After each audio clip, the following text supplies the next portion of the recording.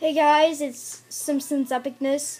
I have another new channel. I decided to close the Cartoon Dude account because I was fresh out of ideas for this for that channel. This time I'm just gonna do collecting for uh, shows like Adventure Time and regular show. It's called Adventure Time Fan four five or five four six, I believe. Um, sorry, my memory kind of slipped. Um, so, um, if you're interested in stuff like Adventure Time, regular show, or The Amazing World of Gumball, um, just check out that channel. I know this has really nothing to do with The Simpsons, but um, just in case anyone was interested. So, yeah.